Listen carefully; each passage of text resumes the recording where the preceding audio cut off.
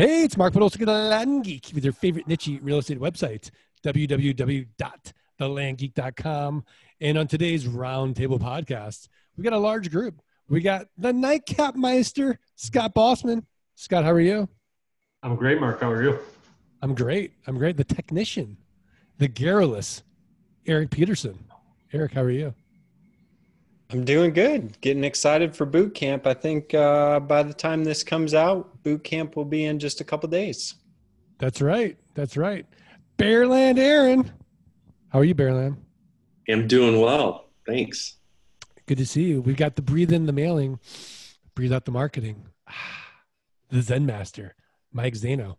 Mike, how are you? I'm doing very well. Glad to be here. Good to see you. Good to see you. And then, of course, I love it when you call me Big Papa, the Big Papa himself, Tate Litchfield. Tate, how are you? I'm doing so well, Mark. So well. And of course, last but not least, Scott Todd from scotttodd.net, landmodo.com. And most importantly, if you're not automating your Craigslist and your Facebook postings, postingdomination.com forward slash the land geek. Scott Mark, Todd. I'm great. How are you? I'm great because you know what?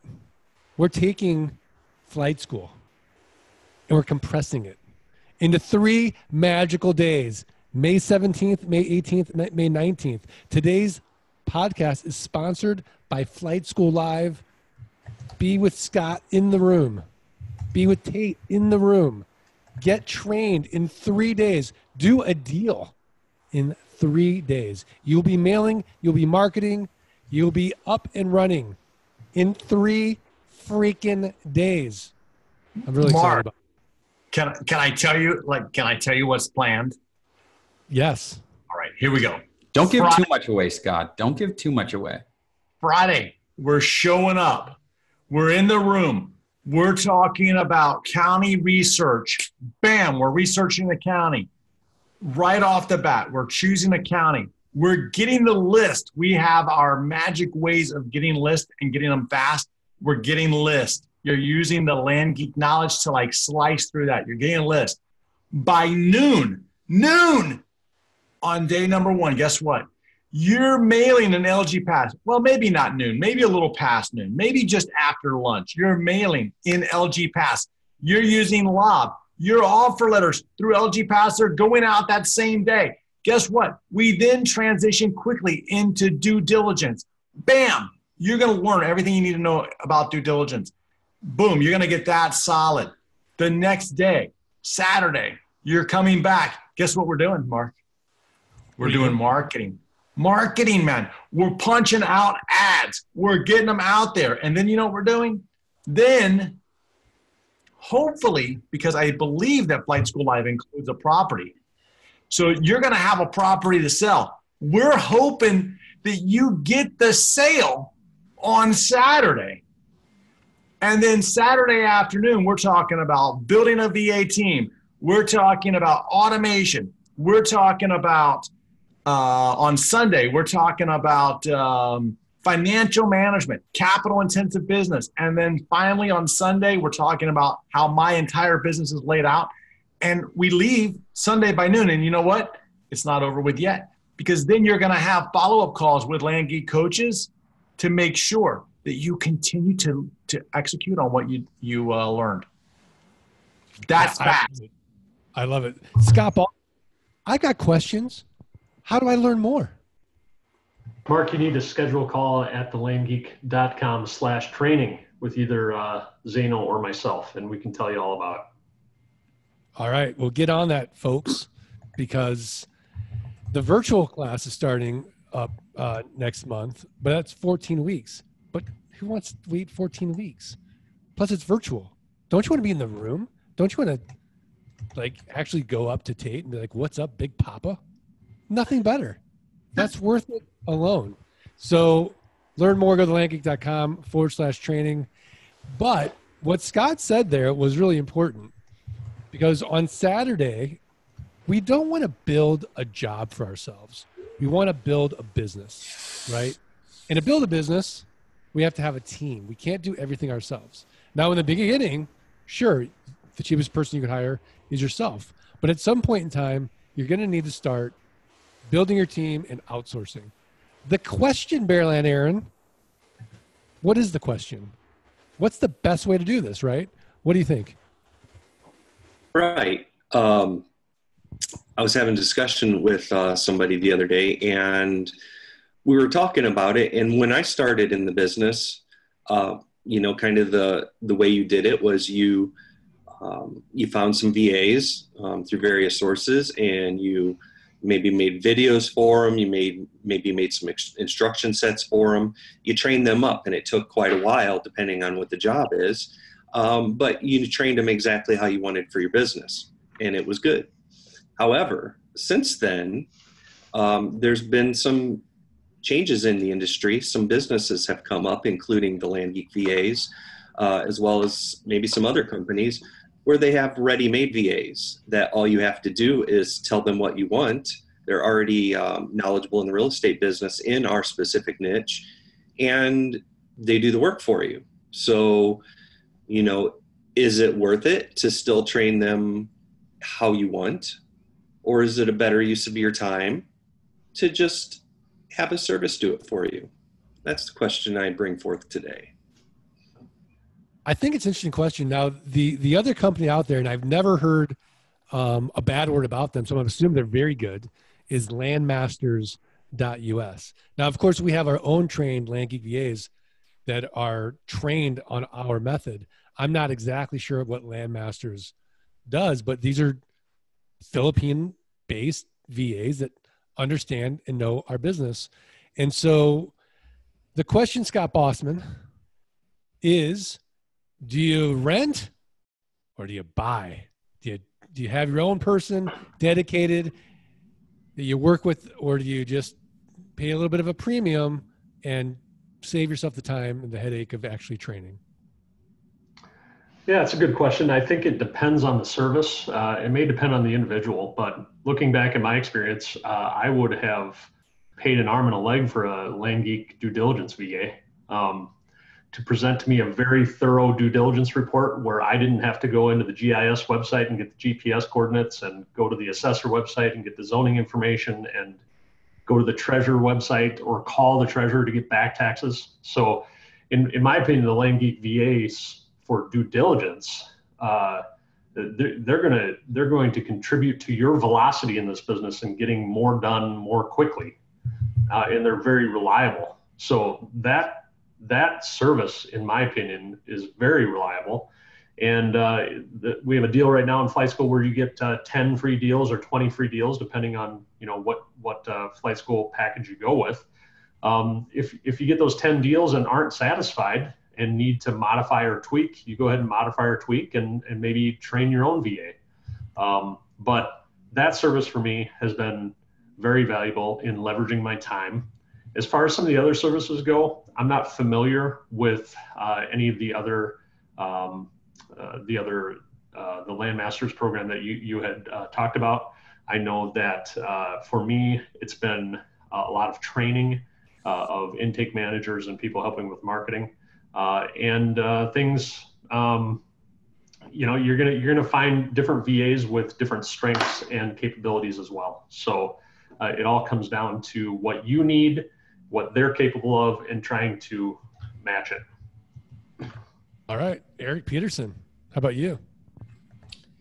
Well, I think that uh, it really does come down to the individual. Uh, I will say that ultimately, just getting started in this business, having a team or a resource that you can go to, uh, like the Land Geek VAs, to do due diligence or something like that, um, is really going to accelerate your progress. It's going to help you kind of skip over the whole, um, you know, mapping out your system and your process for doing the due diligence because they already know how to do it.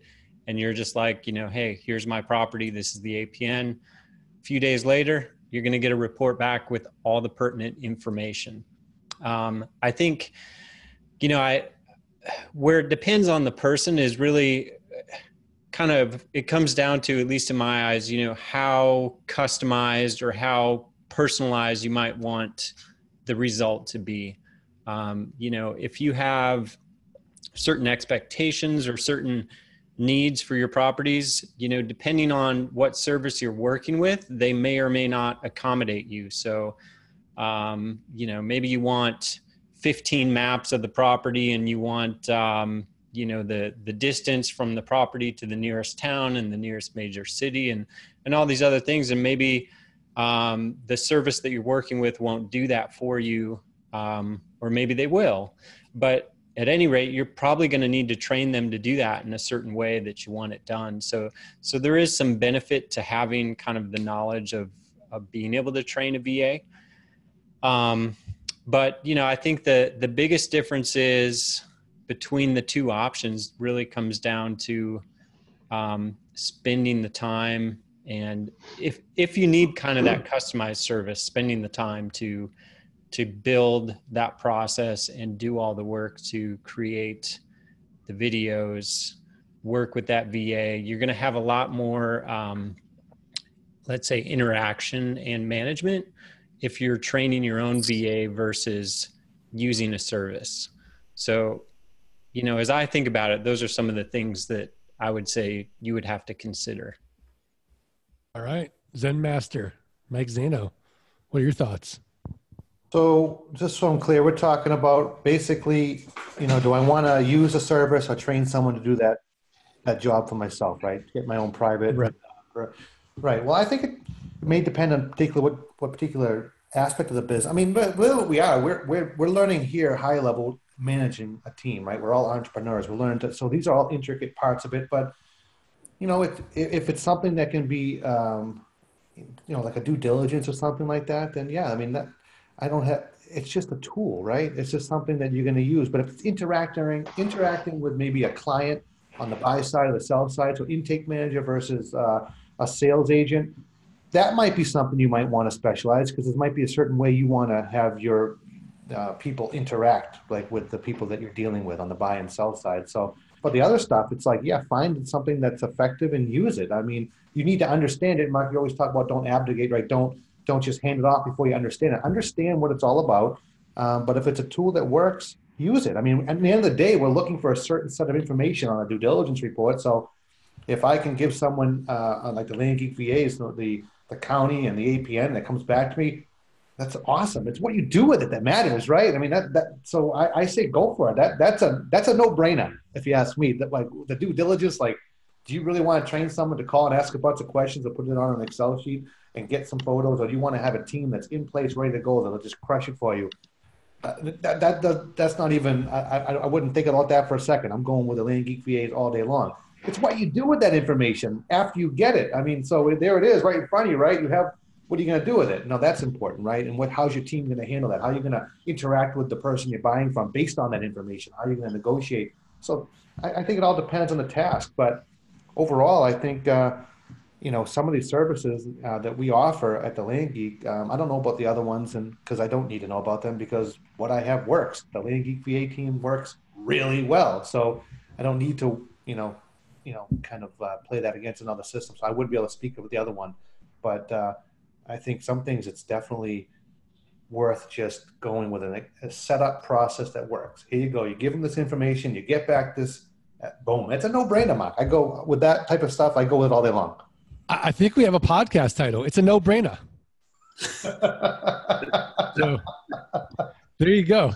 Uh, Tate, how about you? You want to play devil's advocate?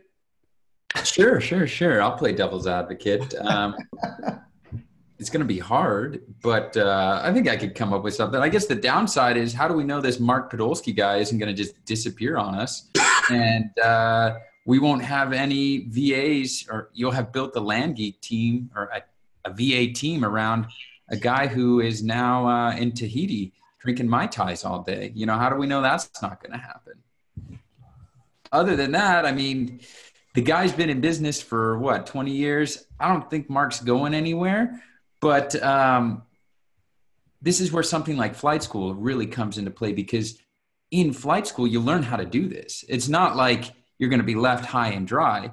If the Land Geek VA's closed shop, you still know what to do. You know what to look for. You've seen enough due diligence reports that you can prepare and, and eventually train your own VA.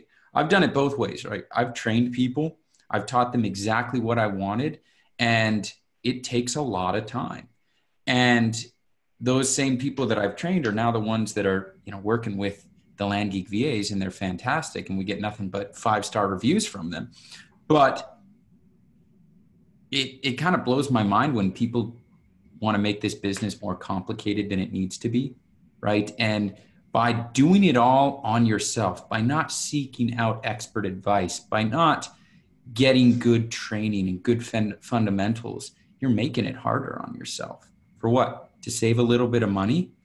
You can always make more of that. Yeah, but even if I die, which hopefully I won't, but no, no, I- we, we're prepared for that, people. Yeah, I mean we're we are prepared. I mean we have office in the Philippines.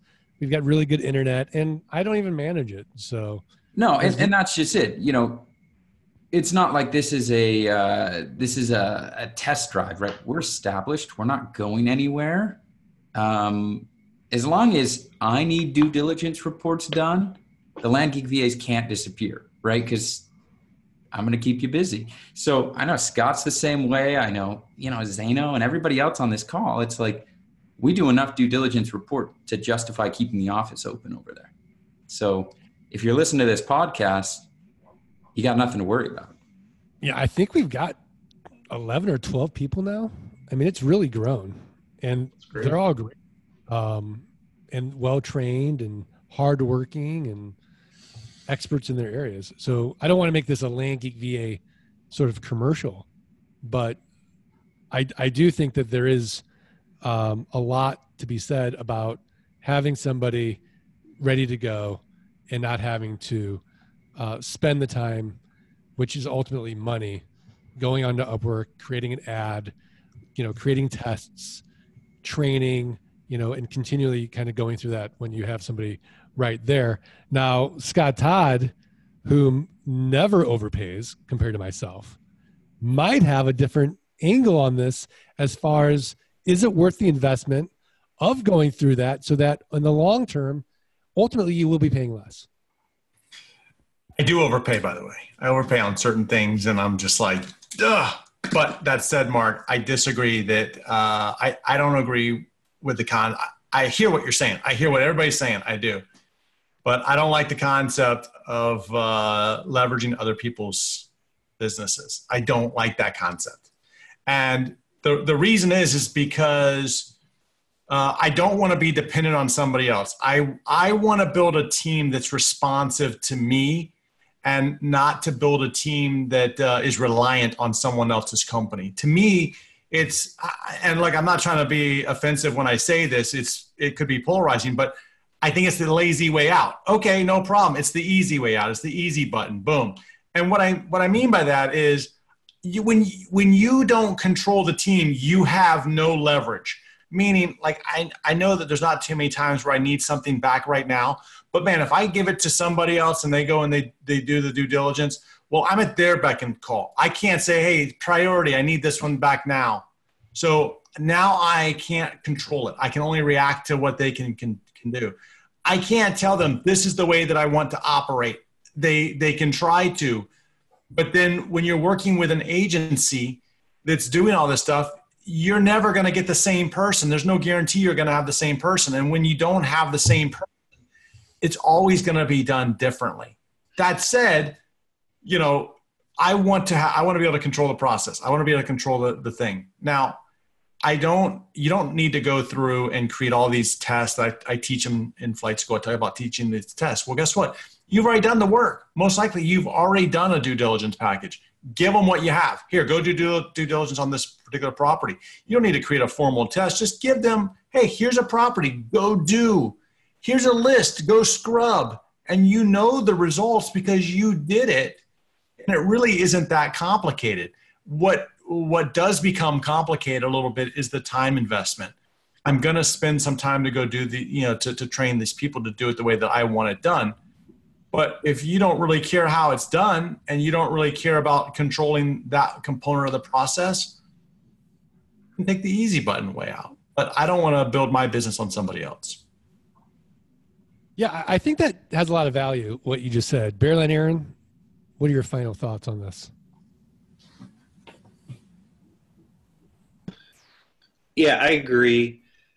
I think it depends on where you're at and what your goal is. Um, I agree with a lot of what everybody said, including Scott. Um, I'm a person that likes to control my process. Um, the way I've done some things when I had to do them myself. Now there's kind of systems maybe built around that. So I need somebody to fit my system, not me fit theirs. On the other hand, uh, there is that convenience aspect where, you know, especially if you're getting up and going and, you know, you need a, to start doing a lot of work without putting in a lot of work, then the services are pretty handy, you know, and they're already trained and ready to go. Um, and honestly, I don't see really why you couldn't do both as well. Um, due diligence, for instance, um, you might have a due diligence VA that really knows you and, and works with you how you want, like Scott was talking, but then, you know, you come across a group of properties and all of a sudden you have to do, you know, 20 or 30, maybe you're doing a big bulk deal and um, that's going to really bog down your one or two people. Uh, you might need to go to a service and say, hey, we need to, you know, I need you to do 20 of these and, you know, you can have your people do 10 of them. And, um, you know, it gives you a way to also cross check results and that sort of thing to make sure everybody's, you know, everything looks good. But, um, it, it seems that there's definitely a place for both ways. Yeah, I, I mean, I think that's really the, the right answer. And Eric, you know, so eloquently stated that it really just depends on you. So, are you a complete, total, you know, insane control freak like Scott Todd, or are you a reasonable person that looks at their business and really wants to just focus on the things that are really going to move the needle in their business long term which is ultimately, you know, making money on sales. It just depends on you. I don't think there's a wrong answer. Um, you know, in the same I'm sense, freak. I'm not a control freak. I mean, let's just say, let, let, like, let's just say, for example, you're a plumber, right? Whose house would you rather go to? Mine, where I let you do your work because I know you're an expert at it, and you've got years of experience, or Scott's, where he's hovering over your shoulder, saying, "No, that probably isn't right." you know, we're going to need a ball bearing for this and, you know, this or that. And ultimately, done a certain wait, wait, wait, wait, wait, wait, wait, wait. I can totally see Scott being very hoverish, right? Like, just oh, like, what are you doing? No. Yeah, especially no. now that he's got passive income. You know, he's like, the plumber comes over and his wife's like, What are you doing today? It's like, Oh, I'm hanging out with the plumber. I'm working, observing. Well, you guys need, might need to wrap up this podcast because the pool guy is coming to clean here shortly, and I got to go out there and supervise him. But you just want to make sure you're skimming the right way. Listen, that said, Mark, I have a question for you. What type of plumbing job do you know of where they use ball bearings? I'm confused. Okay, that's very true. It's because he doesn't watch over their shoulder. He doesn't know. I don't know. You know, I, is there someone in the audience who can tell us for sure if there's any type of plumbing parts that have ball bearings in them? I mean, I think the ball toilet is a simple concept. No ball bearings required. Uh, have you lubricated the ball bearings in your toilet lately? Oh wow, this has gone up. This has gone this in a different direction real quick. I thought we were talking about VAs.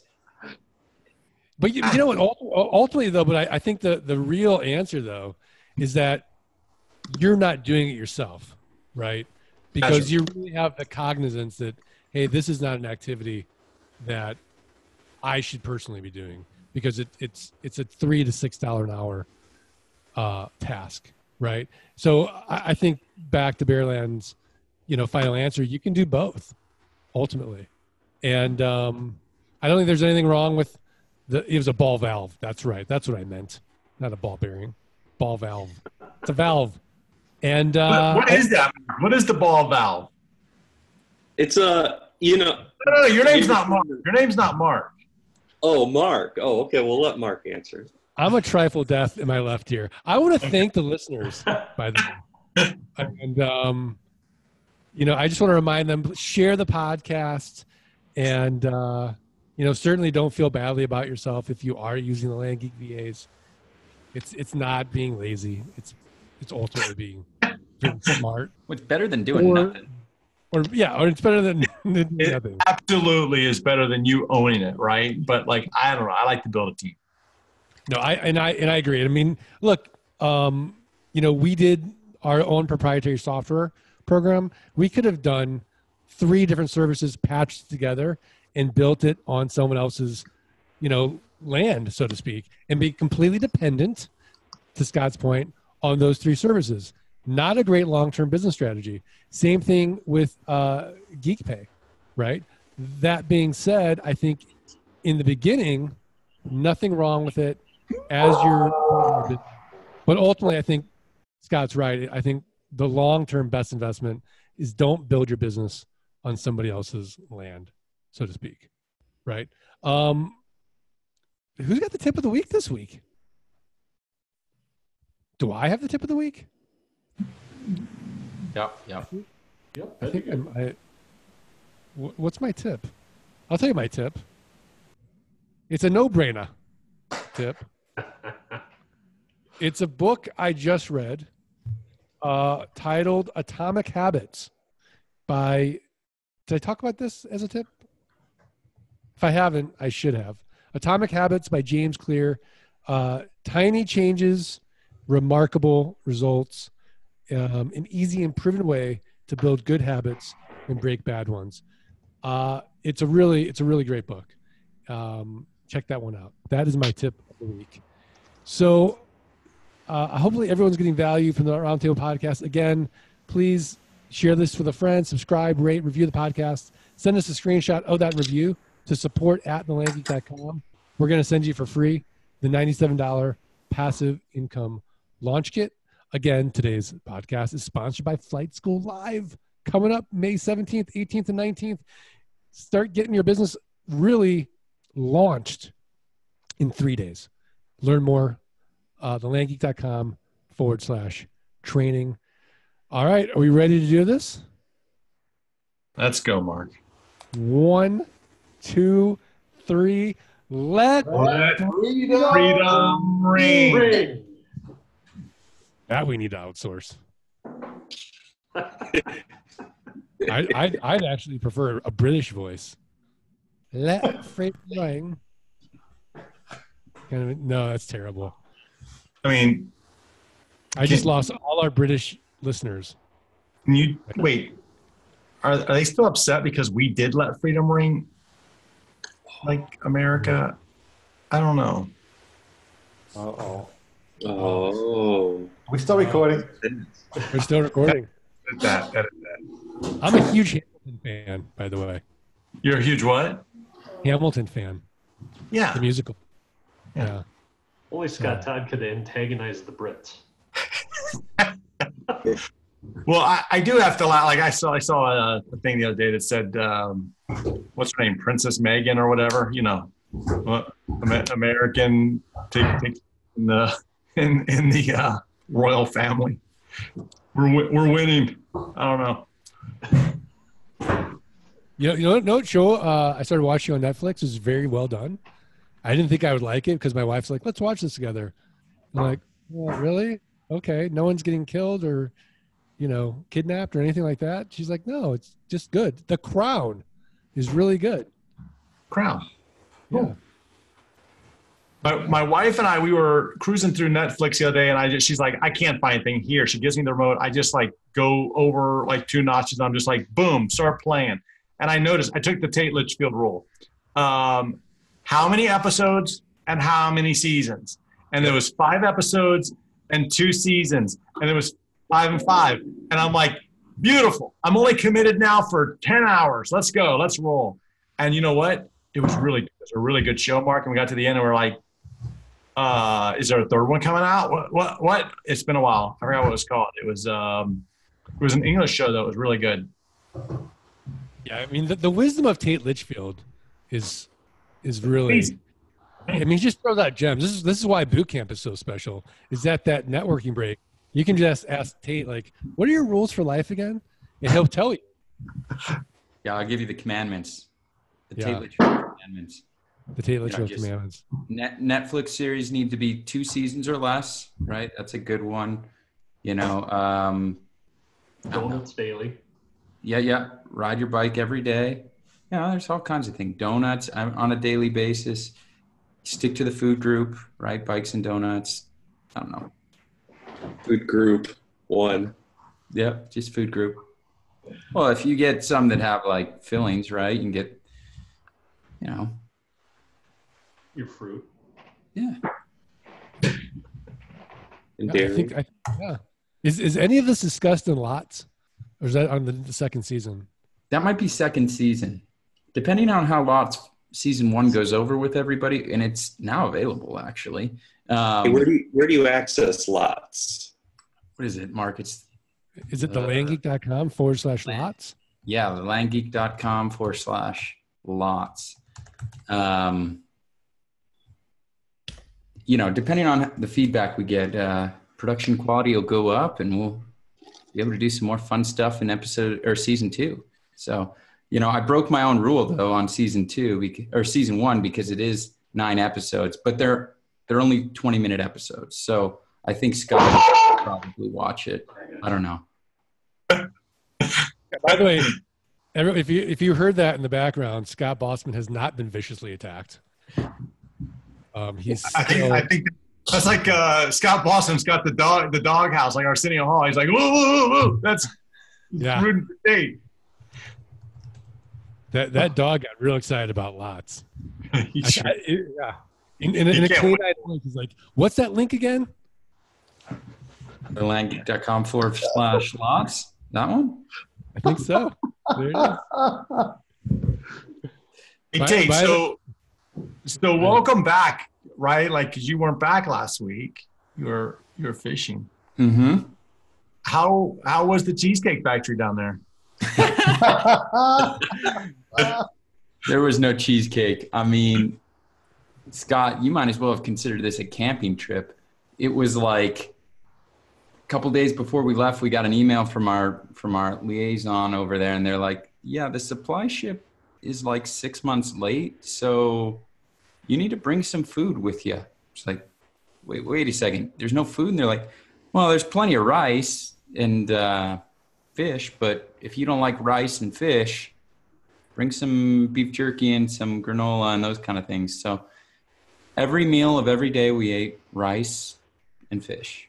So I loved it. It was good. Fresh tuna, you know, hard to beat that. But uh, it was a great trip. Tons of fish, good times. You know, good company. It was fun. Living the dream. Trying, trying. What, what was the name of the It's called uh, it's called Christmas Island, but uh, it's in the nation of Kiribati. Kiribati, that's what it is.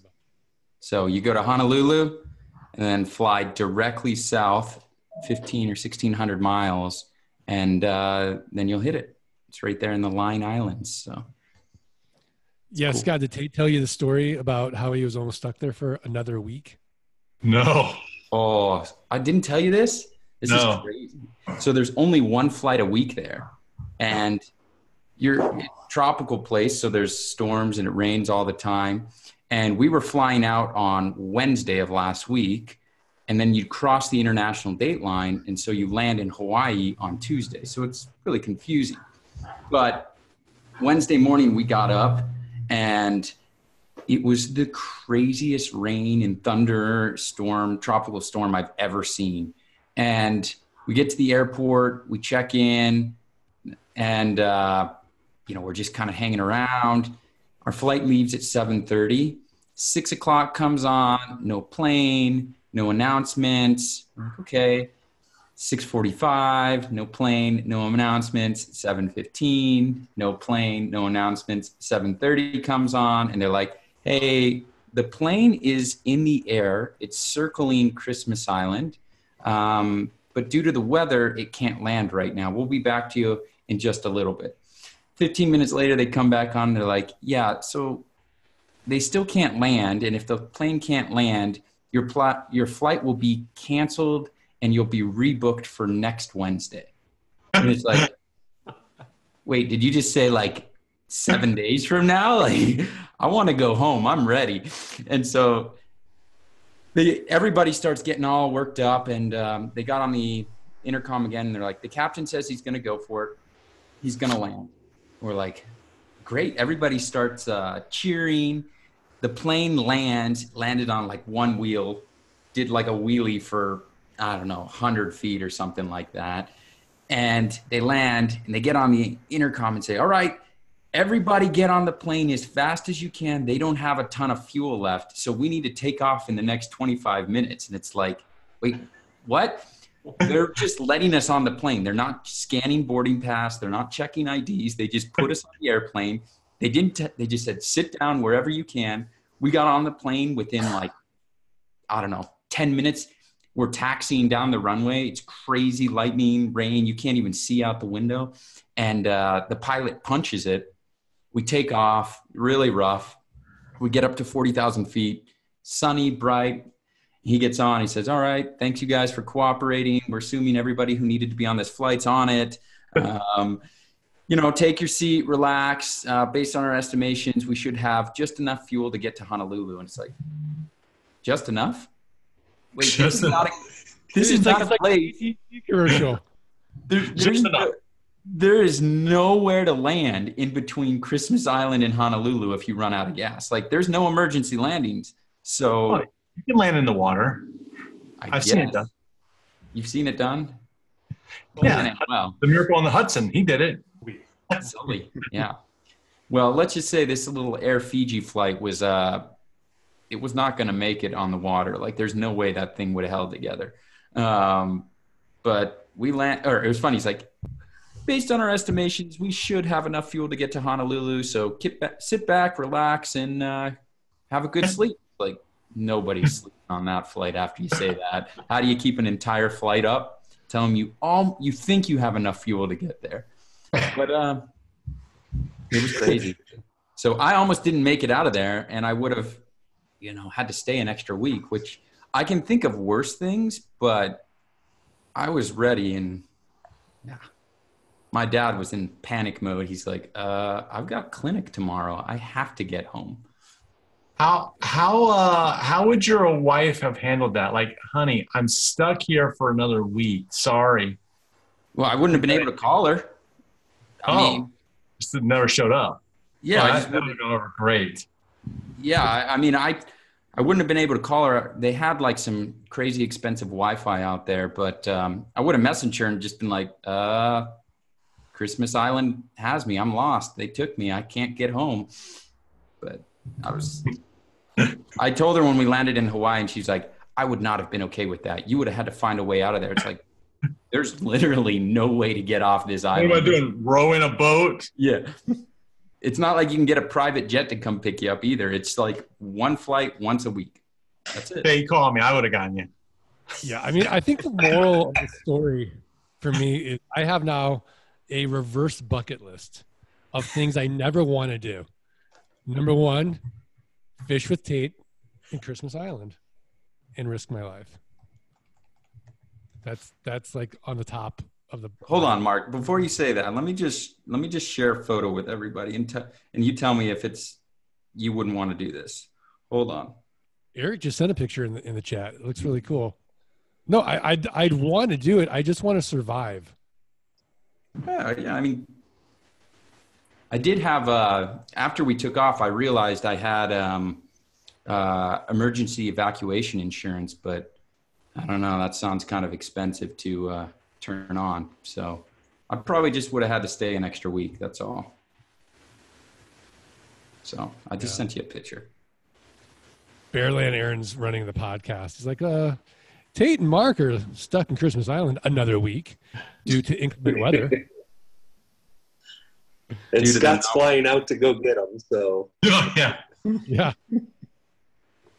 I did read a. Uh, I read. I read a um, uh, flight accident report about like. Um, so so like a plane that I could fly. Like I'm not talking about like a, some big commercial jet. I'm just talking about some plane. You know, like a private plane, right? It crashed. Like they had to make an emergency landing in the middle of like the Pacific Ocean because the pilot had decided he was going to fly from LA to Honolulu. Like, what are you thinking, man? Like, seriously, come on, get on a get on a real plane and fly that thing. I wouldn't do it. I mean, I've spent some time now in the Pacific area, like on these islands fishing, and it is remote. Like you're out there, man. I can't imagine going down out there. You, I mean, you could see how these big planes just disappear because there's so much water out there. I don't know. Yeah, Not a those pictures are, are gorgeous. Pictures are incredible, man. Yeah, I take it's, it back. It's it's it's back on the bucket list. Mark, I mean, dude, it was maybe we should have a boot camp there. Rustic boot camp. It'd be a week Has to be long. A week long. yeah, Maybe Rustic- two. yeah. But Bring plan on food. one or book for one, plan on two kind of thing. Just- Just bring. They got plenty of rice. You just got to bring whatever else you want to eat. Yeah, Scott, you would have hated it. I, I feel Look, like we could have. If you were on a deserted island, what would you take to eat? That's a good question, Mark. question. Beef jerky. Did I Beef hear jerky. Cheesecake Factory. Cheesecake Factory. I'd just Uber. I'd Uber Eats it. The. I'd take my phone. I think, by the way, they they probably have a Cheesecake Factory in Honolulu. So you did go through Honolulu, right? What we could do is better yet, do this. have uh we could have a boot camp in Honolulu and then we could go fishing. See, We- that's we- Tate's module for when you have financial freedom and the time. What do you do with it? Yeah, we could we could do like land geek adventures. You know, fly with Scott, fish with Tate. You know, Jam with Eric. jam with Eric, go in the Play the dojo with. Mike. You know, ride a motorcycle with Bearland Aaron. Survive Wisconsin with Scott Bossman in the winter. Put on a fire with Zana. But yeah, exactly. Just have dinner at the firehouse with. Had the Mike? Can you get the can Mike? Can you get the a, like a maybe we should do a boot camp or something up near you.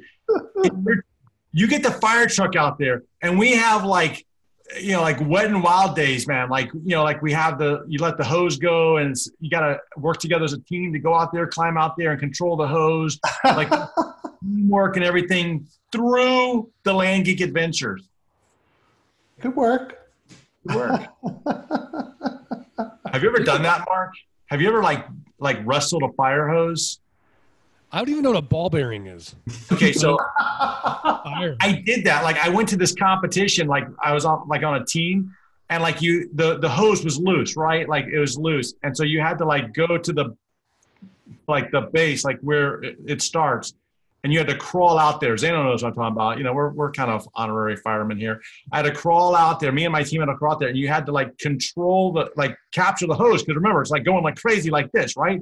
So like we're crawling out there, I, and I'm like leading the way, Mark. I get to the end, and the and we're wearing the helmets and the mask and everything. I get to the end. I go to grab the the nozzle. I grab it, but when I did, it like shot back on me, and all the water goes up into my helmet. It's like drowning me. I'm like, oh.